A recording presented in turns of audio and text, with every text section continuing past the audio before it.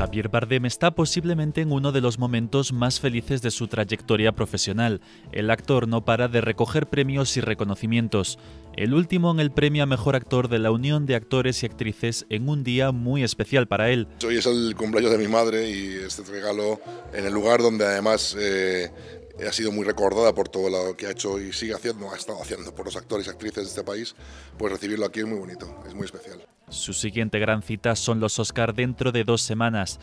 Por primera vez, Javier Bardem y Penélope Cruz están nominados a las categorías de Mejor Actor y Actriz Protagonista por sus papeles en Bin de Ricardos y Madres Paralelas.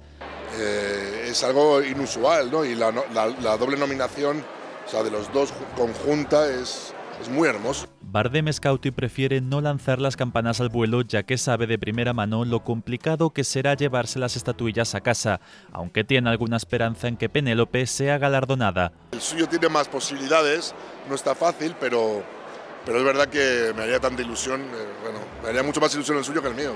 Un precioso gesto de Javier hacia la mujer de su vida que demuestra la unión de la pareja española más internacional del cine.